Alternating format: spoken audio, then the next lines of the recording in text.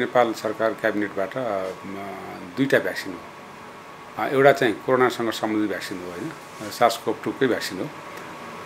अर्को चाहिँ यो कलेरा ओभरअल कलेरा भ्याक्सिन हो त्यो होइन त्यो चाहिँ कोरोना होइन होइन हैजा सम्बन्धी कोरोना सम्बन्धी चाहिँ को भ्याक्सिनको चाहिँ के हो भन्दा यो चाइनाबाट उत्पादित कम्पनी यो वालभ्याक्स भन्ने कम्पनी छ।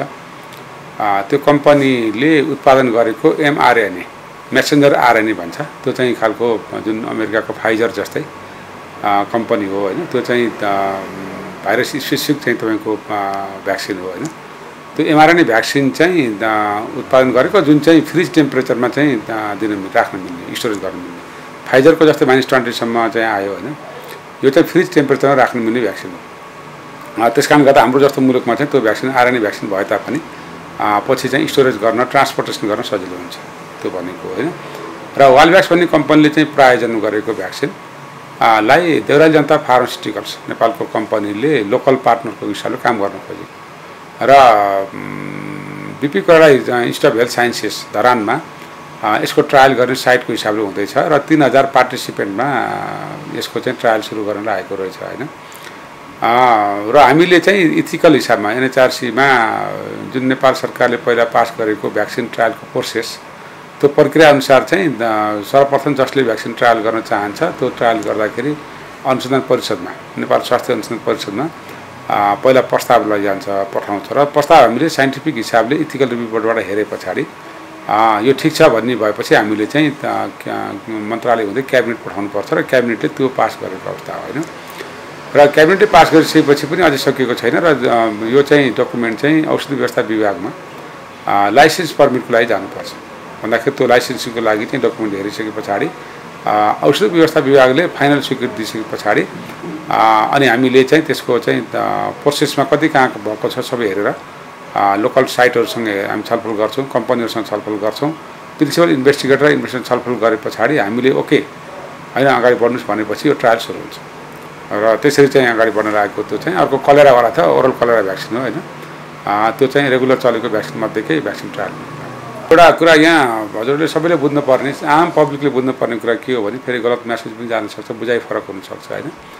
यो अहिले तेस्रो फेजको क्लिनिकल ट्रायलका चारवटा फेजमध्ये पहिलो दोस्रो सकिसके पछाडि जुन सेफ्टी र इफिकासी हेरिन्छ सेफ्टी भनेको मतलब जुन मान्छेलाई हार्म गर्छै गर्दैन अर्को इफेक्टिभनेस कतिको छ त्यो हेरिसके पछाडि थोरै पपुलेसनमा ठिक छ भनेर अगाडि बढेको डकुमेन्टेसन पछाडि अथवा साइन्टिफिक पब्लिकेसन पछाडि तेस्रो चरणमा प्रवेश गरेको यसलाई हामीले मल्टी सेन्ट्रिक मल्टिनेसनल ट्रायल भन्छौँ। र मल्टिनेसनल ट्रायलभित्रमा चाहिँ अब एराउन्ड थर्टी थाउजन्ड पार्टिसिपेन्ट पन्ध्र बिस हजारदेखि तिस हजारसम्म पार्टिसिपेन्ट चाहिँ हुन्छन्। हामीले पार्टिसिपेन्ट हुन्छ यसलाई होइन? त्यो पार्टिसिपेन्टमा चाहिँ तपाईँको भ्याक्सिन लगाएर हेरेपछि यसको इफेक्टिभनेस अझै बढी फर्दर फर्दर सेफ्टी कति छ फर्दर इफेक्टिभ कति छ भनेर हेर्ने। थर्ड फेजको ट्रायलको विशेषता त्यही नै र अहिले हामीले लगाएका भ्याक्सिनहरू पनि थर्ड फेज सकिसके पछाडि इमर्जेन्सी अथोराइजेसन पाएपछि लगाएको भ्याक्सिन हो। यद्यपि यसको रिसर्च चलिरहेको छ यद्यपि यसले चाहिँ कहिलेसम्म काम गर्छ कुन उमेरसम्ममा काम गर्छ बच्चा बुढाबुढी प्रेग्नेन्सी त्यो सबै हेर्नै बाँकी छ अहिले। अथवा लगाएको भ्याक्सिन कहिलेसम्म रहन्छ अथवा भ्याक्सिन लगाइसकेपछि यसको चाहिँ तपाईँको चाहिँ शरीरले भ्याक्सिनको लागि चाहिँ एन्टिबडी चाहिँ उत्पादन गर्ने आफै क्षमता डेभलप गर्छै गर्ने सब हेर्न बाँकी छ। त्यस कारणले गर्दाखेरि यो अध्ययनकै क्रममा यहाँ बुझ्नुपर्ने कुरा के हो भने थर्ड फेज ट्रायल चाहिँ तपाईँको इफेक्टिभनेस चाहिँ हेरिन्छ फर्दर सेफ्टी हेरिन्छ फर्दर इफेक्टिभ हेरिन्छ। है त्यस कारणले गर्दा यसमा डराइहाल्नु पर्ने स्थिति होइन। र पार्टिसिपेन्टको छनौट चाहिँ तपाईँको यो इथिकल रिभ्यू बोर्डमा हाल्दाखेरि सबै कुरा हुन्छ कि? पार्टिसिपेन्टको प्रोटोकलमा डिजाइन हुन्छ। त्यो प्रोटोकलमा डिजाइनमा चाहिँ मेथोलोजीमा कहाँ गर्ने कसरी गर्ने कुन कुन मान्छेमा गर्ने कस्ता उमेरसम्ममा गर्ने अथवा चाहिँ तपाईँको चाहिँ गएर तिनले चाहिँ त्यहाँ हार्महरू के हुनसक्छ हार्मभन्दा चाहिँ तपाईँको चाहिँ गएर बेनिफिट के के हुनसक्छ सबै कुराहरू साइन्टिफिक हिसाबले पेपरहरू कति छन् सबै हेरेपछि मात्रै हामीले अगाडि बढाउने हो। त्यस कारणले गर्दा त्यो पार्टिसिपेन्ट सिलेक्सन गर्ने कुरा त्यही नै उल्लेख भएको हुन्छ होइन? र जहाँ जस्तो अवस्थामा चाहिँ गरेर चाहिँ मान्छे खोजेर ल्याएर दिने होइन? त्यो प्रोटोकलमा उल्लेख भएअनुसारको आधारमा मान्छे चाहिँ उल्लेख चाहिँ तपाईँको स्वतन्त्र भोलिन्टरी र कोही मान्छेलाई जबरजस्ती त्यहाँ ल्याएर चाहिँ तपाईँको गिनियापिक भनिन्छ नि यो गिनियापिक भन्ने कुराहरू चाहिँ अब हामीले के बुझ्नुपर्छ भने यो स्टडी एनिमल हो। यो प्रि क्लिनिकल स्टडी गर्दा जस्तो मैले क्लिनिकल ट्रायल भनिसकेँ यहाँ होइन? त्यो प्रि क्लिनिकल स्टडी गरेर ल्याबमा काम गर्दा त्यो ल्याबमा काम गर्ने चाहिँ एउटा सानो एनिमल हो। हामीले त्यो त प्रि क्लिनिकल सकेर फर्स्ट फेज सेकेन्ड फेज हुँदै थर्ड फेजमा आइसकेको छ। त्यस कारण त गिनियापिक भन्ने शब्द चाहिँ अब यो बुझाइ चाहिँ मान्छेको चाहिँ कम बुझ्नु जरुरी छ होइन? त्यस कारणले गर्दा अब सबै गिनियापिक भएर भएको भए त मुलुकमा चाहिँ भ्याक्सिन चाहिँ विश्वमा कहीँ पनि भन्दैन नि त। कसैले त ट्रायलमा सहभागी हुनु पऱ्यो त्यस कारणले गर्दा त्यो ट्रायलमा सहभागी हुने चाहिँ तपाईँको मान्छे चाहिँ भोलिन्टियर हो।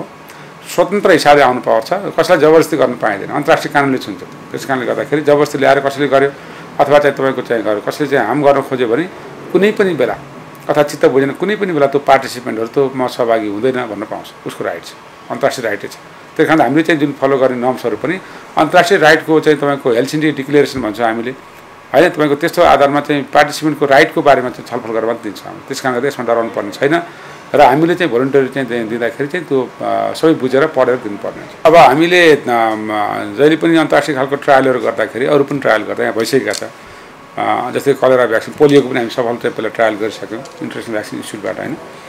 अब त्यहाँ चाहिँ के छ भन्दा त्यो पार्टिसिपेन्टका बेनिफिट राइटका कुराहरू सबै कुराहरू हुन्छन् होइन। कुन अस्पतालमा चाहिँ तपाईँको चाहिँ गएर उपचार गर्ने होइन उसको चाहिँ तपाईँको समस्या भयो भने चाहिँ कसरी चाहिँ लैजाने के गर्नेदेखि लिएर केयर गर्नेदेखि लिएर इन्सुरेन्सका कुरा पनि हुन्छ। होइन त्यसको इन्सुरेन्स चाहिँ अलरेडी चाहिँ हुन्छ। उहाँहरू इन्सुरेन्स हेरेर पढेर एक त भोलिन्टियरी पार्टिसिपेसन हो। किन उहाँले म भोलिन्टियरली चाहिँ यो राज्यको लागि कन्ट्रिब्युट गर्छु होइन भन्ने खालको कुरा नै हो। तर चाहिँ त्यो हुँदाखेरि हामीले इन्सुरेन्स गराएका हुन्छौँ। इन्सुरेन्स विदाउट इन्सुरेन्स हामी गर्दैनौँ। अन्तर्राष्ट्रिय चाहिँ नियममै हामी गरेर गर्छौँ र त्यो इन्सुरेन्सबाट कतिसम्म क्षतिपूर्ति जस्तै माइल्ड उपचार बिरामी हुँदा के गर्ने अथवा सिरियस खालको बिरामी हुँदा के गर्ने कहाँ उपचार गर्ने उपचार गरे बापतको खर्च कहिले दिने होइन त्यो प्रायोजकले दिनुपर्छ। जनरली के हो भने प्रायोजकको चाहिँ नियममा जुन जुन आइडियली कम्पनी प्रायोजन हुन्छ होइन? कम्पनी छैन भने चाहिँ कुनै संस्था अर्को पनि प्रायोजन आउनसक्छ होइन? त्यस कारणले गर्दा त्यो कम्पनीको राइट के अरे कुराभित्र पर्छ दायित्वभित्र पर्छ र त्यो त्यतिखेर खर्च नै त्यसरी छुट्याएको हुन्छ कि चाहिँ त्यो प्रायोजकले हामीलाई चाहिँ बजेट दिँदाखेरि नै त्यो त्यो कुरामा चाहिँ खर्च गर्ने शीर्षक सहितको कुराहरू भएको आउँछ। भन्दाखेरि त्यो पार्टिसिपेन्टले खर्च गर्नु पर्दैन। र त्यो चाहिँ प्रोटोकलले डिजाइन गरे अनुसार नै खर्च गर्नुपर्छ र इन्सुरेन्स बिना हामी चाहिँ भोलिन्टियर सेक्टर चाहिँ रिक्रुट गर्न दिँदैन। अब यो एकदम राम्रो कुरा सोध्नुभयो होइन किन भन्दा हामीले जहिले पनि रिसर्चमा क्लिनिकल रिसर्चमा जहाँ इन्टरभेन्सन हुन्छ जहाँ सामान्य ब्लड निकाल्नेदेखि लिएर औषधि खाने कुराहरू हुन्छन् भ्याक्सिन लाउने कुरा हुन्छन् त्यहाँ चाहिँ मान्छेहरूको तपाईँको बेनिफिट लाभ र चाहिँ हाम हानि र चाहिँ तपाईँको लाभको बारेमा कुरा गरिन्छ। बेनिफिट भर्सेस रिस्कको कुरा गर्छौँ कि? त्यसले पनि जहिले पनि के हुन्छ भन्दा हामीले चाहिँ रिस्क भन्दाखेरि यसको बेनिफिट बढी हुनुपर्छ भन्ने बेनिफिट भनेको अर्थ के हुन्छ भने कुनै पनि चाहिँ क्लिनिकल ट्रायल गर्दा एउटा कुरा त हाम्रै पपुलेसनमा हाम्रै पपुलेसनमा हाम्रै चाहिँ त समुदायमा भ्याक्सिन लगाउनुभन्दा अगाडि अलरेडी चाहिँ तपाईँ मान्छेहरूमा हेर्दाखेरि उमेर समूहदेखि लिएर तपाईँको क्षेत्रगत हिसाबले अहिले तपाईँको जेनेटिक हिसाबले सबै कुराहरू पहिले नै हेर्न पाइन्छ।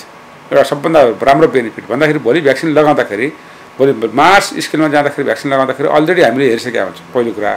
हाम्रै जेनेटिक मेकअप अनुसार पनि हामीले चाहिँ यो भ्याक्सिन चाहिँ राम्रो हुन्छ कि हुनु थाहा भइसकेको हुन्छ।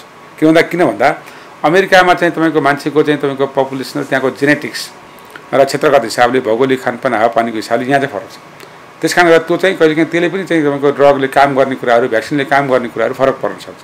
एउटा कुरा हाम्रो जेनेटिक मेकअप हाम्रो चाहिँ तपाईँको क्षेत्रगत हिसाबले भौगोलिक हिसाबले हाम्रो कुरामा हेर्न पाइयो पहिलो कुरा।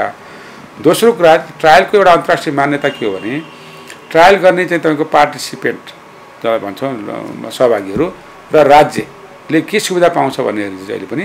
र त्यो चाहिँ तपाईँको सुविधा भनेको दुई इन टर्म्स अफ मनी मात्र होइन। एउटा चाहिँ रेटमा पनि कुरा गर्न सकिन्छ अथवा कति तपाईँले फ्री दिन सक्नुहुन्छ राज्यले भन्न सक्छ अथवा तपाईँले दिनुहुन्छ भने कति सब्सिडाइज रेटमा दिन सक्नुहुन्छ भन्न सकिन्छ। र सबभन्दा महत्त्वपूर्ण टाइमले चाहिँ इभ्यालुएट हो के? त्यो टाइममा पाइन्छ पाइँदैन हामीले पहिले नै प्रत्यावृत्ति गर्न सक्छौँ। ट्रायल दिनुभन्दा अगाडि नै हामीले चाहिँ भन्न सक्छौँ कि हामीले भन्छौँ। हामी तिन चार कुराहरू भन्छौँ। जहिले पनि इथिक्समा एउटा चाहिँ ह्युमनको पार्टिसिपेन्टले के बेनिफिट पाउँछ आफ्टर ट्रायल दोस्रो यसको राज्यले के बेनिफिट पाउँछ आफ्टर ट्रायल त्यसपछि गएर चाहिँ यो चाहिँ क्वालिटी चाहिँ प्रोडक्ट हामीले चाहिँ त्यो बिना चाहिँ हामी काम गर्दैन पहिले भनिसकेका हुन्छौँ। त्यो गर्दा क्वालिटी राम्रो आएको खण्डमा हामीले पाउने बेनिफिट यो हुन्छ भनेर पहिले नै चाहिँ सोध्छौँ र उसले लेखेर पठाएको हुन्छ। जस्तै कसैले फ्री दिन्छु भन्छ केही डोजहरू अब केही डोज फ्री मात्रै भन्दा पनि दुई चार लाख डोज फ्री दिएर चाहिँ यसको भ्यालु छैन मेरो विचारमा होइन? एउटा सपोर्ट हुन्छ। तर हामीले पाउने रेट चाहिँ टाइम टाइममा र रेटमा जस्तै भनौँ चाइनामा उत्पादित भएको कम्पनी चाहिँ बाहिरको भ्याक्सिन तिस पैँतिस डलरमा चाहिँ पाउँदैन भनेर बसिरहेको अवस्था छ। इभन इन्डियाको कोभिसिल्ड पनि सुरुमा तिन चार डलरमा आउने भने पछि आठ दस डलर बढ्दै गयो होइन? भन्दाखेरि हामीले रेट कम्प्रोमाइज चाहिँ नगरिकन हामीलाई रेट चाहियो भन्न सक्छौँ। किनभने हामीले के भन्न सक्छौँ भने भन्ने गरेका छौँ कि त्यो चाहिँ जो पार्टी के अरे लगाउने कम्पनी जुन देशमा बनाएको छ त्यही ठाउँमा लगाउँदाखेरि त्यही रेटमा हामीले चाहियो भन्न सक्छौँ। त्यहाँबाट ट्रान्सपोर्टेसन कस्ट भएको हामी चाहिँ तपाईँको तिर्नु सक्दैन भन्न अलरेडी भन्न सक्छौँ। त्यो कारण त्यो चाहिँ राइट हामीसँग छ। त्यसले गर्दा बेनिफिट चाहिँ पनि छ यसको। यसमा त मैले बुझेअनुसार के छ भन्दा यस अब यसमा एउटा कुरा चाहिँ हामीले ट्रायल गर्न पायौँ किन भन्दा ट्रायल भनेको एउटा साइन्स हो। एउटा के बुझौँ भने एउटा साइन्स डेभलप गर्दाखेरि जहिले पनि चाहिँ तपाईँको डाइरेक्ट बेनिफिट खोजिनु हुँदैन। किन भन्दा यो मुलुकमा हामीले भ्याक्सिन चाहिँ तपाईँको ट्रायल सुरु गर्नु भनेको क्यापासिटी बिल्डअप गर्ने पहिलो कुरा। किन क्यापासिटी भनेको इन द सेन्स अब त्यहाँ चाहिँ तपाईँको चाहिँ साइट डेभलप हुन्छ अलरेडी त्यहाँ चाहिँ तपाईँको रिसर्चरहरू चाहिँ मोबिलाइजेसन हुन्छ त्यहाँको ट्रेनिङका कुराहरू हुन्छ उहाँहरूलाई होइन? एउटा एक्सपिरियन्स चाहिँ कुराहरू चाहिँ गेन भइसकेको हुन्छ र फर्दर अरू ट्रायल गर्दाखेरि हामीले काम गर्छौँ। र दोस्रो कुरा के हुन्छ भने भोलि प्रडक्सन गर्नको लागि पनि हाम्रो सजिलो हुन्छ। जस्तै ट्रायल गरिसके पछाडि एउटा चाहिँ अहिलेको यो भ्याक्सिनको के फाइदा छ भने उसले नेपालमै भ्याक्सिन उत्पादन गर्छु भनेको छ। र त्यही त्यही क्रममा चाहिँ हामीले म आफै पनि संलग्न भएँ। एउटा चाहिँ अर्थ मन्त्रालय हुँदै उद्योग मन्त्रालयमा एउटा कमिटी बनाएको थियो। त्यो कमिटीमा चाहिँ एउटा संयोजक प्राविधिक समितिको म भएर काम गरेँ। अस्ति भर्खरै सामान्य प्रधानजीबाट जुन नीति कार्यक्रम आयो क्याबिनेटबाट सरकारबाट त्यहाँ नै घोषणा भएको छ अब नेपालमा उत्पादन गर्ने भनेर त्यो ड्राफ्टहरूमा हामीले काम गरेका थियौँ। र त्यसमा के छ भने राज्यले के के सुविधा दिन सक्छ भ्याक्सिन उत्पादन गर्ने कम्पनीलाई? राज्यले उत्पादन गर्दा अथवा प्राइभेटले उत्पादन गर्न चाहँदा? जग्गा दिने कुरा होला त्यहाँ बाटो दान दिने कुरा होला बिजुली दिने कुरा होला ट्याक्सहरू सब्सिडाइज गरिदिने कुरा होला अथवा राज्यले किनिदिनु पर्ने कुराहरू पनि होला क्वालिटी भयो भने। एउटा त्यो कुरा छ। अर्को प्राविधिक हिसाबले चाहिँ रिसर्च चाहिँ गरिसके पछाडि प्रडक्सन गर्दा होइन भन्दा एनएचआरसीलाई अन्तर्राष्ट्रियकरण गर्ने कुरा त्यसपछि गएर चाहिँ डिडिएलाई चाहिँ अन्तर्राष्ट्रिय लेभलको बनाउने कुरा र चाहिँ एनपिएचलाई अन्तर्राष्ट्रिय बनाउने कुराहरू पनि हामीले उल्लेख गरेका छौँ। त्यहाँ नीति कार्यक्रम पास भइसकेका छ। भन्दाखेरि अब नीति कार्यक्रममा यो चाहिँ तपाईँको भ्याक्सिन उत्पादनसम्म पुग्दालाई रिसर्चमा के के फेसिलिटी चाहिन्छ भन्ने कुरा राज्यले चाहिँ गरिदिने भनिसकेका छ अनि त्यो एउटा प्लस पोइन्टहरू त्यो पूर्वाधार हुँदाखेरि कम्पनी पनि इच्छुक भएर आउँदाखेरि किन अरबौँ लगानी लाग्छ। यो टेक्स टाइम वर्षौँ लाग्छ। र यसको राम्रो पछि के छ भने विश्व वर्ष यो कम्पनी चाहिँ चाइनाबाट विश्वव्यापी हिसाबले जापानिज लगायतको भ्याक्सिन उत्पादन गरेको कम्पनी हो। त्यस कारणले गर्दा कम्पनीको मा क्वेसन छैन।